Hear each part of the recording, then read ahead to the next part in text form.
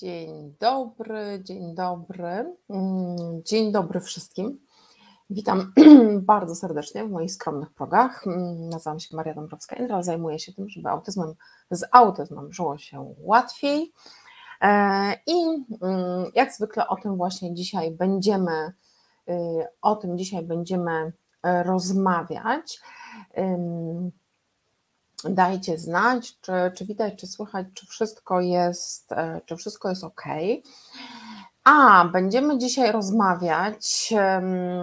O czym będziemy rozmawiać? Będziemy rozmawiać o kwietniu. E, kwiecień na horyzoncie, a jak wszyscy wiemy, e, kwiecień to miesiąc świadomości na temat autyzmu. 2 kwietnia jest Światowym Dniem świadomości na temat autyzmu e, i cały kwiecień tak naprawdę upływa na całym świecie pod hasłem, w Polsce oczywiście też pod hasłem rozmów o autyzmie, uświadamiania e, ludzi na temat tego, czym jest autyzm, e, o co w tym wszystkim chodzi, mm, jak, na czym polega odmienność autystycznego umysłu i, e, i o, tym, mm, o tym w kwietniu mówimy. Dzisiejszy mm, tytuł dzisiejszego naszego spotkania nieco przewrotny, bo y, nadałam mu tytuł Niebieski, Niebieski Festiwal mm, absurdów i stereotypów, y, dlatego że praktyka pokazuje, że no właśnie, że kwiecień to jest miesiąc mnożenia tych stereotypów i absurdów. I e, na tym polega pewien paradoks sytuacji, że wydawać by się mogło, że to jest fantastyczna okazja do tego, żebyśmy tą wiedzę i świadomość na temat autyzmu szerzyli, a okazuje się, że często dzieje się zupełnie na odwrót, że zamiast szerzyć wiedzę, e, i uświadamiać e, ludzi wokół nas czym jest autyzm, e, na czym polega mm, życie ludzi z autyzmem, na czym polega ich odmienność ich umysłu? I co z tego wynika dla nich, dla nas, e, to często działania, które podejmowane są w dobrych intencjach. Zakładam, że te intencje są absolutnie dobre. Mm, niestety działają w drugą stronę, czyli utrzymują, bardzo dobrze podtrzymują stereotypy, e, czyli że autyści to kosmici, że, mm, że autyści to w swoim świecie tylko e, i w ogóle ludzi to w ogóle nie lubią i tak dalej, i tak dalej, i tak dalej. I pomyślałam sobie o tym, że e, może te ostatnie dni marca, kiedy jesteśmy tuż, tuż przed właśnie 2 kwietnia, to jest fantastyczna okazja, żebyśmy trochę o tym pogadali. Tym bardziej, że dostaję od Was prywatne wiadomości, e, w których dzielicie się mm, albo właśnie różnymi absurdami, których doświadczacie, albo e, swoimi wątpliwościami czy mm, inicjatywy, które mm, które w miejscach, w których bywacie, pracujecie, e, są planowane, czy one faktycznie, czy one faktycznie służą, czy one są zasadne. Więc pomyślałam sobie, że, że warto y, o tym pogadać. Bardzo jestem ciekawa, jaka jest Wasza perspektywa na ten temat. Na ile mm, dla Was, no właśnie, kwiecień służy temu, żeby, żeby wiedzę na temat ludzi z spektrum autyzmu mm, szerzyć, a na ile właśnie stereotypy podtrzymuje? Jakie, jakie wy obserwujecie sytuacje, mm, zarówno te, które służą, jak i te, które nie służą, e, więc jeżeli możecie się podzielić swoimi obserwacjami wokół tego, to będę, mm, będę bardzo wdzięczna. A ja już zacznę zacznę trochę gadać, bo, bo sobie wypisałam różne rzeczy, o których chciałabym powiedzieć. E, Pierwsza rzecz, e, która wokół autyzmu cały czas ma miejsce i w kwietniu ona się uaktywnia bardzo, bardzo mocno, to jest zaświeć się na niebiesko i epatowanie wszędzie niebieskim mm, kolorem.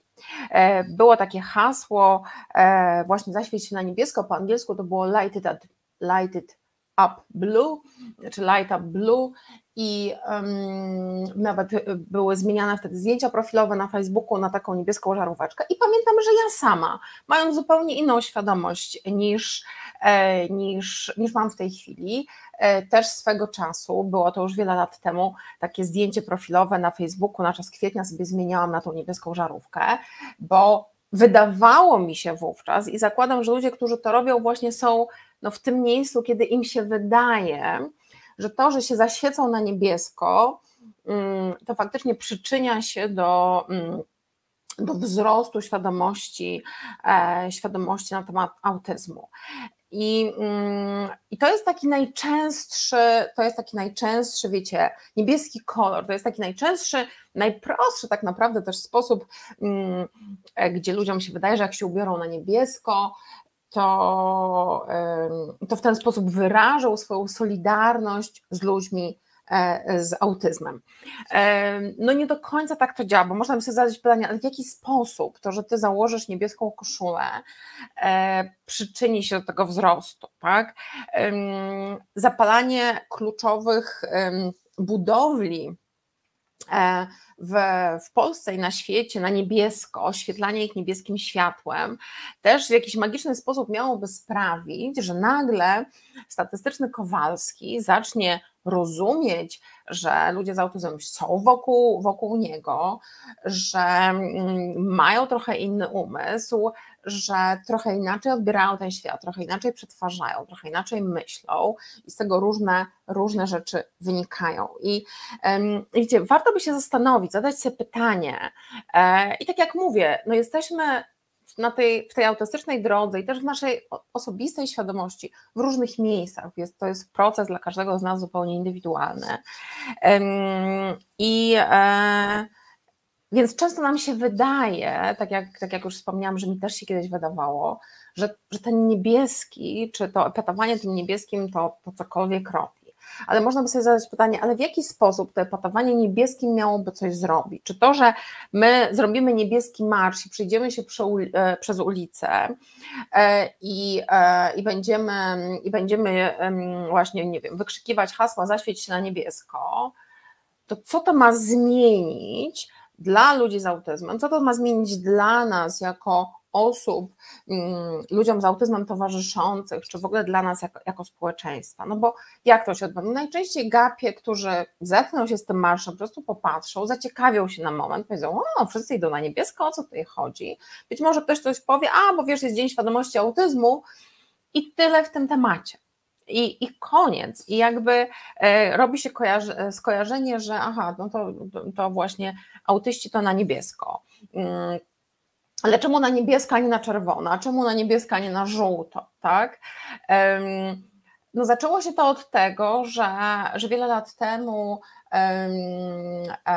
ruch e, Defeat Autism Now i Cure Autism Now miał taki niebieski puzelek, który, który symbolizował właśnie mm, podejście do, do leczenia autyzmu e, i to tak się bardzo utrwaliło i bardzo się, bardzo się zakorzeniło i cały czas ten niebieski, cały czas ten niebieski się ciągnie. W tej chwili wiemy już, że E, symbolem neuroróżnorodności jest znak nieskończoności w kolorach tęczy. Kiedy nieskończoność mówi o tej nieskończoności e, wydań e, neuroróżnorodności. Tak jak popatrzymy sobie na autyzm, na spektrum autyzmu, to też jest nieskończenie wiele mm, wydań tego autyzmu, czyli tego, że jest nieskończenie wiele mm, sposobów czy twarzy, w jaki e, ludzie z autyzmem się prezentują, w jaki ten autyzm e, wpływa na ich życie i, i jak, to, jak to działa. I myślę sobie, że ten symbol e, znaku nieskończoności mm, w kolorach tęczy bardzo dobrze oddaje no właśnie, ideę, ideę neuroróżnorodności. E, myślę, że znacząco lepiej niż, niż, e, niż niebieskość, bo ja też mogę sobie wybrać kolor, z którym się utożsamiam. Nie wszyscy lubią niebieski kolor, mm, e, niektórzy faktycznie tak. Sama należy do osób, które niebieski kolor bardzo lubią i zawsze lubiły, podobnie jak mój autystyczny syn zawsze lubił niebieski kolor, ale znam osoby, które nie znoszą niebieskiego koloru i, i niekoniecznie chcą się z niebieskim kolorem identyfikować. I teraz zobaczcie, co się dzieje. E, zaczyna się kwiecień, zaczyna się ruch wokół autystów. Nagle władze mm, miast, spotykają się z autystami, odwiedzają, odwiedzają e, placówki, w których osoby w spektrum autyzmu mm, pracują, mieszkają, bytują, mają zajęcia, fotografują się z nimi, wszyscy pokazują tą solidarność, jak my tych autystów lubimy, jak my się nimi zachwycamy, bo oni są tacy inni, tacy fascynujący i w ogóle. I za chwilę kurz opadnie i wszyscy oczywiście o autystach zapomną, co najwyżej będzie się jeszcze trochę niebieskiego kurzu w powietrzu unosiło. I teraz zastanówmy się przez chwilę, jaki przekaz płynie z różnych działań, które są podejmowane. No bo o niebieskim mówiliśmy, idą te błękitne marsze, prze, prze, przechodzą przez, przez miasta. No i teraz pytanie, jak, jaki jest przekaz takiego błękitnego marszu? Co ma się, no bo jeżeli podejmujemy jakieś działanie w rodzaju pewnej kampanii społecznej czy uświadamiania czegoś, no to zakładam, że mamy w głowie jakąś ideę, jakiś cel, co to ma wywołać w umysłach odbiorcy, odbiorców. Tak? Czyli co taka przeciętna pani Kowalska, która będzie patrzyła na taki marsz, co to miałoby, jaką zmianę miałoby to wywołać, jaką refleksję miałoby to wywołać? Czy czy, no bo jeżeli nawet ona po, pomyśli sobie, ok, no y, ludzie z autyzmem żyją na tym świecie, no to okay, no i co z tego, że ona pomyśli, że ludzie z autyzmem żyją na, na, na tym świecie. I jakby jej rozumienie tematu prawdopodobnie się nie zmieni, prawdopodobnie nie wpłynie to na to, że jeżeli zwracała uwagę E, machającemu młodemu człowiekowi, e, czy nawet starszemu człowiekowi, machającemu rękami i gadającymi do siebie e, w supermarkecie, w kolejce do kasy, to prawdopodobnie ona po obejrzeniu takiego niebieskiego marszu nadal będzie to robić, to niczego, niczego, niczego nie zmieni. Więc warto sobie zadać pytanie, co to ma wnieść. Czy na przykład. Hmm, E, w jednym z polskich miast planowany jest e, marsz pod tytułem Wszyscy jesteśmy kosmitami, czy nawet niebieskimi kosmitami. Zobaczcie, jaki to jest, warto się zastanowić, jaki to jest przekaz. Jak, jaki przekaz to niesie, że autyści to kosmici, czyli utrzymujemy ten stereotyp, że autysta to kosmita, to ktoś w ogóle z innego świata, to ktoś w ogóle nieprzystający i nijak się nie mający do tego, do tego kim my jesteśmy, no jak się, jak się tu z kosmitą dogadać. Czyli zobaczcie, podejmowany jest trud w dobrych intencjach, bo naprawdę jestem przekonana, że za tymi wszystkimi inicjatywami są dobre intencje. No bo trzeba to zorganizować, trzeba zwołać, zwołać tych ludzi, trzeba wygospodarować na to czas, trzeba wygospodarować pewnie jakieś pieniądze. Mm, więc jest dużo zachodu wokół tego, i jednocześnie niesiemy przekaz utrwalający przeświadczenie w narodzie, że autysta to kosmita. Pytanie, czy o to nam chodzi? Pytanie, czy ludzie z autyzmem chcieliby, żeby myśleć o nich jako kosmitach? Pytanie, czy my chcielibyśmy, na przykład jako rodzice, czy jako osoby towarzyszące ludziom z autyzmem, żeby o naszych dzieciach myślano jako kosmitach? Czy raczej zależałoby nam, podobnie jak ludziom w spektrum autyzmu, żeby myślano o nas po prostu jako ludziach, którzy podobnie jak każdy inny, mają swoje wyzwania, mają swoje łatwości i i, e, i chcieliby po prostu, żeby popatrzono na nich jak na ludzi. E, niebieskie balony, ubrania, pączki.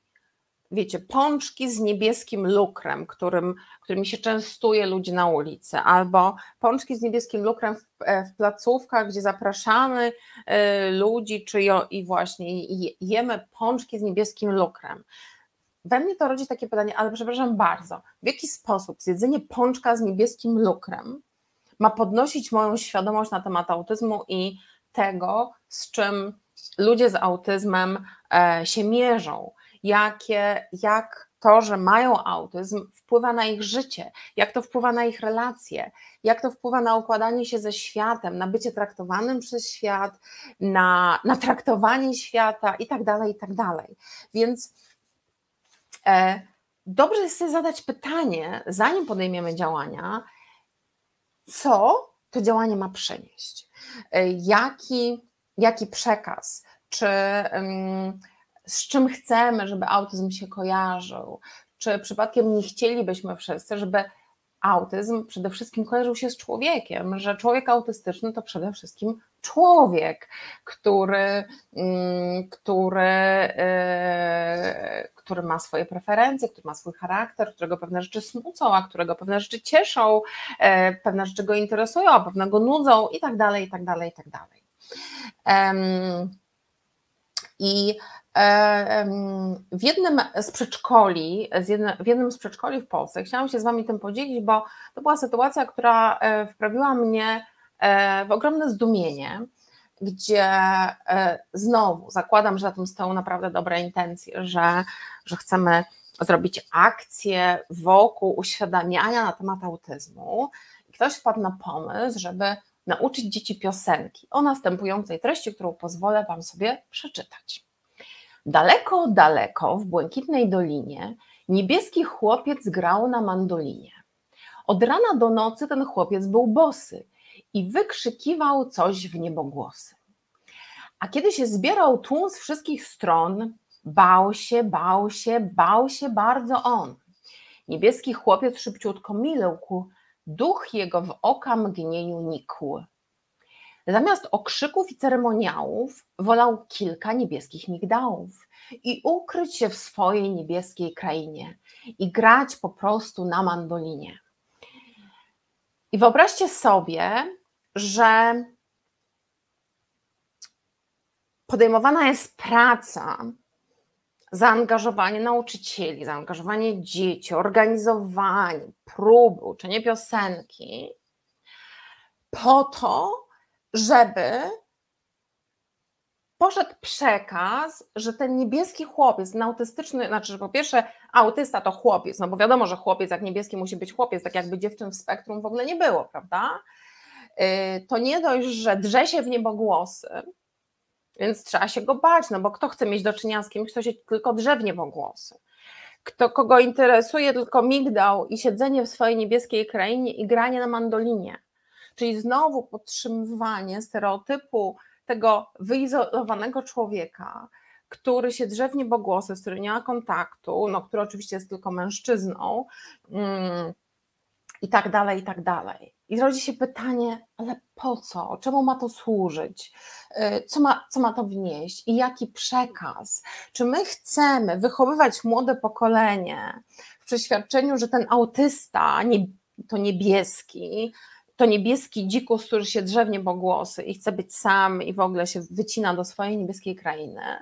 Czy chcemy uczyć młode pokolenie, tylko że jesteśmy różni, że no, mamy różnie po prostu i potrzebujemy się uczyć ze sobą, ze sobą być. Inny przykład. E, też e, to było akurat ze szkoły, przepraszam, a, ta, a teraz przykład ze, z przedszkola. Przedszkole, mm, e, w którym 5-6-latki są w spektrum autyzmu, E, no, nie wierzę. No tak, bo ja też nie wierzyłam, jak to dostałam. Wiesz, ja też nie wierzyłam, trudno mi było uwierzyć w coś takiego. No, niemniej takie rzeczy mają miejsce. Mm, e, przedszkole, e, inna sytuacja, przedszkole, 5-6-latki mm, w spektrum autyzmu i proponowane jest to, że żeby wszystkie dzieci tego dnia 2 kwietnia ubrały się na niebiesko, żeby były żeby były bajki na temat autyzmu. I, mm, i znowu e, i, e, I znowu jakby rodzi się pytanie, ale po co? Ale po co bajki na temat autyzmu i po co to ubieranie się na niebiesko? Czy niekorzystniej by było e, wykorzystać tego, ten dzień 2, 2 e, kwietnia do tego, żeby pogadać z dzieciakami o tym, no właśnie, jacy jesteśmy różni, że, e, że Basia, e, Basia to ma świetną pamięć, ale zapomina o sprzątaniu wokół siebie, a Krzyś to, to, bardzo, dużo, e, to bardzo dużo mówi, ale nie wiem, nigdy nie może zdążyć na, i, ta, i tak dalej, i tak dalej, żebyśmy porozmawiali o tym, z tymi dzieciakami na progu ich życia i na progu ich tak naprawdę wchodzenia e, też w edukację już szkolną później, o tym właśnie, że, że jesteśmy różni, żebyśmy widzieli te różnice, żeby dzieciaki patrzyły na to, żebyśmy ich uczyli patrzenia, że to jest ciekawe, że mamy inaczej, że to jest niesamowite, że to, co dla mnie jest pioruńsko trudne, to dla ciebie to jest stryknięcie palcami. I w drugą stronę, to z czym ty się zmagasz, dla mnie jest bułką z masłem. Żebyśmy, żebyśmy, to, żebyśmy to rozumieli.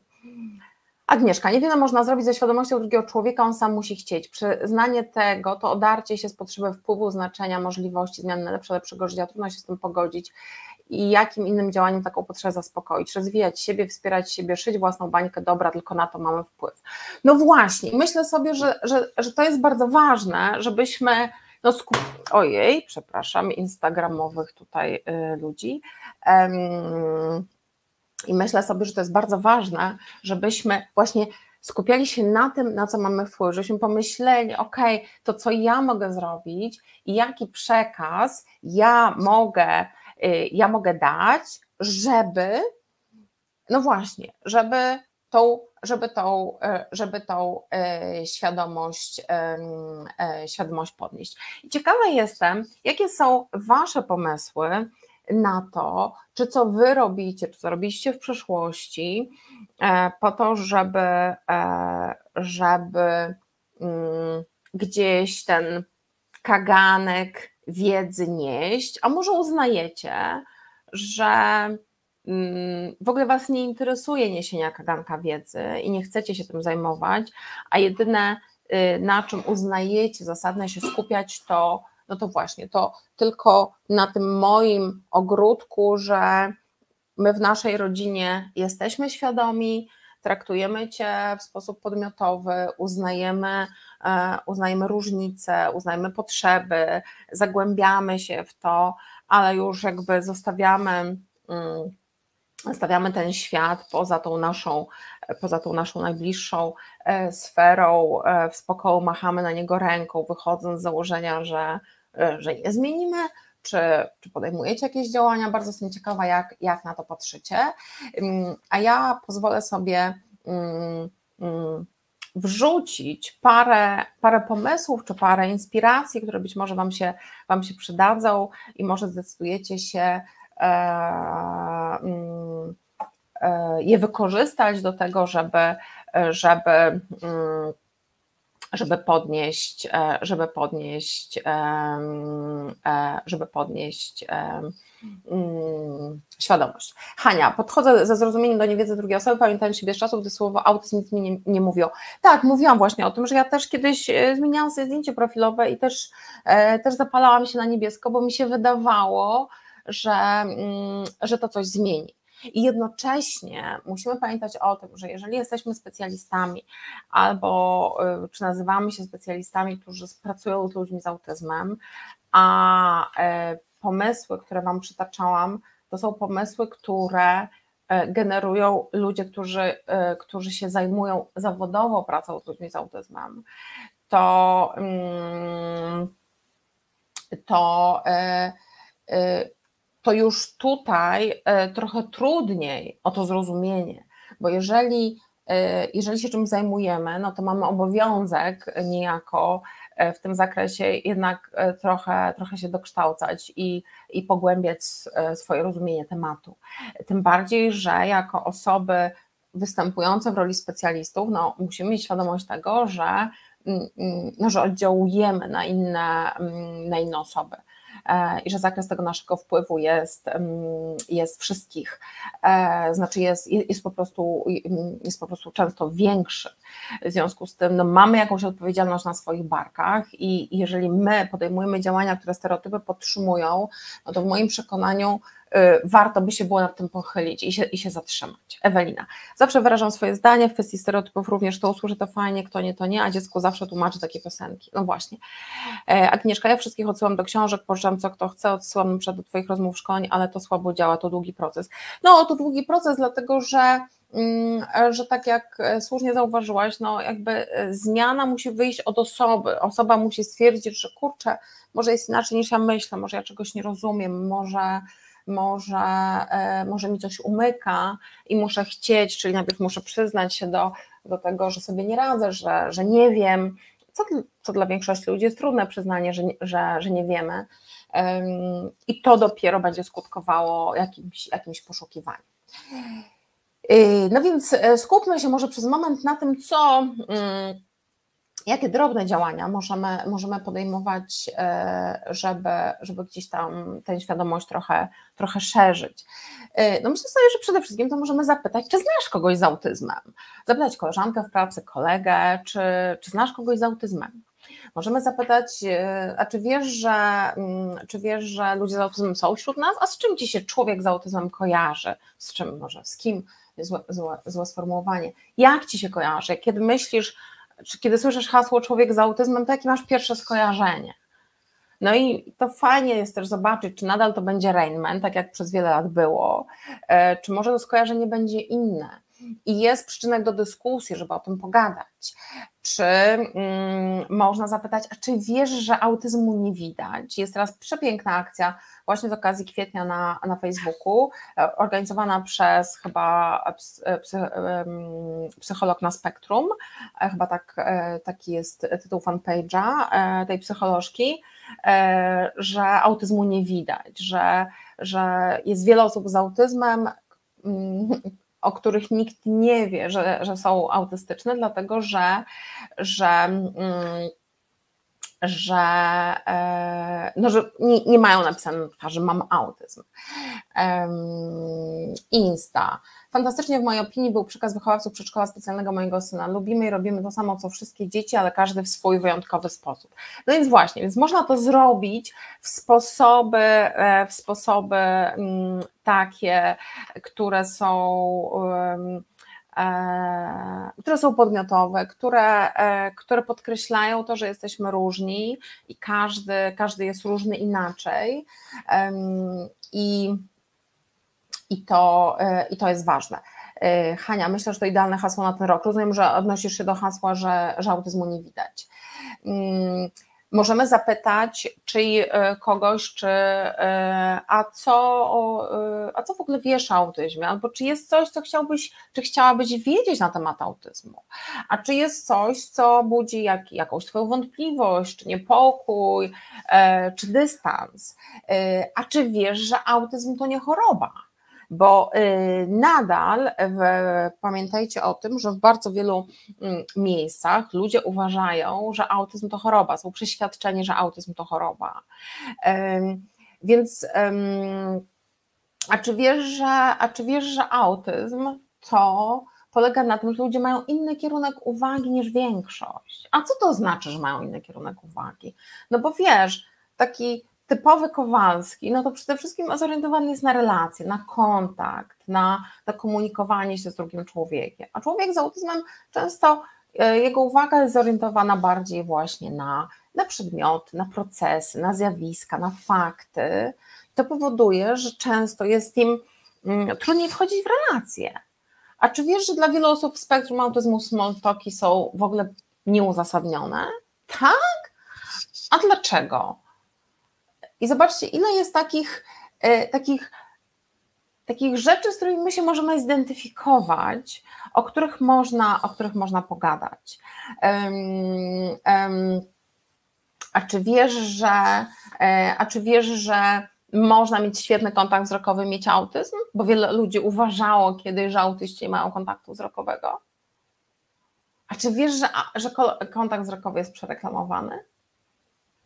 I że można, mm, i że to my, jako ludzie neurotopowi, jesteśmy tak bardzo przywiązani do kontaktu wzrokowego, a dla osób z autyzmem on wcale nie jest taki ważny? Czy nie musi być taki ważny, bo to też nie zawsze jest tak, że nie jest, i tak dalej, i tak dalej. Czyli myślę sobie, że, że może lepszym pomysłem, czy może lepsze to złe słowo, może korzystniejszym pomysłem niż epatowanie niebieskością byłoby po prostu zrobienie tego z pewną lekkością, e, właśnie zadanie jakiegoś pytania, za zainicjowanie dyskusji, chociażby też po to, żeby, no właśnie, żeby człowieka zatrzymać, my się przy okazji czegoś dowiemy, jak on myśli, być może wiąże się z tego dyskusja, a przynajmniej będzie jakiś moment zatrzymania w refleksji, że kiedy następnym e, razem e, e, człowiek spotka w sklepie właśnie jakiegoś człowieka, który na przykład będzie realizował Steam, żeby się wyregulować w związku z tym, że w miejscu, w którym jest, jest, jest dużo, dużo różnych trudnych dla niego rzeczy, to ta osoba spojrzy na to inaczej. A wiesz, co to są Steamy? A wiesz, że my wszyscy je mamy? Tylko wiesz, różnica polega na tym, że często osoby z autyzmem te Steamy mają takie bardziej rzucające się w oczy. Ale co to są te Steamy? No wiesz, no skubiesz czasem skórki przy paznokciach, a kręcisz czasem włosy, a trzęsiesz czasem nogą pod, mm, pod, y, pod stołem i tak dalej, i tak dalej. No właśnie, to jest taki Steam i po co to robisz? A, a się, czy zastanawiasz się, po co robisz Steamę? No nie, no to, to pomyśl, na po co to robisz? No bo coś tam, bo nie wiem, no bo jak się denerwuję i skubię te skórki albo chodzę w ten z powrotem pod, yy, pod salą sądową, to, to łatwiej mi jest ze stresem poradzić. No widzisz, no właśnie, ludzie z autyzmem też tak mają, że ten świat wokół nich często, często, yy, często jest trudny do przerobienia, do pomieszczenia i że sobie poradzić z tym stresem też robią różne rzeczy tylko często oni robią z większą intensywnością niż te, albo robią to w sposób bardziej rzucający się w oczy. Zobaczcie, ile można fajnej dyskusji pociągnąć w taki lekki sposób, bez takiego, bez tej ciężkości, bez tego epatowania chorobą, e, bez tego, e, bez tego niebieskiego, bez, bez podtrzymywania stereotypów. Ewa, ale jeżeli leczy się autyzm, wystarczy spojrzeć w internet, a potem poczytać komentarze. Ludzie chcą adres, ile to kosztuje. No, oczywiście, Ewa, że, e, że jakby y, świata nie zbawimy. Natomiast jeżeli sobie pomyślimy o tym, że tam, gdzie możemy mieć wpływ e, i możemy z kimś pogadać, e, to może zamiast właśnie, nie wiem, gadać o pogodzie czy o tym, że jest inflacja w Polsce, to E, bardziej wnoszącą dyskusją będzie dyskusja o tym, a wiesz co to są Steamy?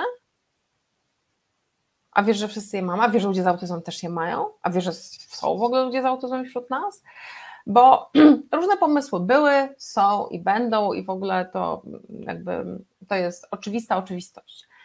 Co nie zmienia faktu, że możemy mieć pewien, pewien zakres wpływu E, tam gdzie, tam, gdzie się z ludźmi, tam, gdzie się z ludźmi kontaktujemy. E, I myślę sobie, że o to w tym wszystkim chodzi, żebyśmy, żebyśmy po prostu e, zajmowali się tym, na co wpływ mamy, a nie tym, na co wpływu, wpływu nie mamy, i tam, gdzie ten wpływ mamy, robili to, co możemy, żeby z autyzmem żyło się wszystkim łatwiej, po prostu. E, tyle ode mnie e, w temacie kwietnia. Mam nadzieję, że, że macie po naszym dzisiejszym spotkaniu mm, trochę różnych myśli, trochę pomysłów na to, jak e, z lekkością o, o autyzmie pogadać. Mam nadzieję, że nie tylko w kwietniu. No ale skoro ten kwiecień już jest e, i cały świat go świętuje, to po prostu go wykorzystajmy do tego, żebyśmy, mm, żebyśmy e, przynajmniej nie podtrzymywali stereotypów i nie generowali kolejnych absurdów, czego wszystkim nam życzę. Pięknego dnia. Dziękuję za Waszą obecność, za Wasze komentarze, za Wasze zaangażowanie. Wszystkiego dobrego i do zobaczenia.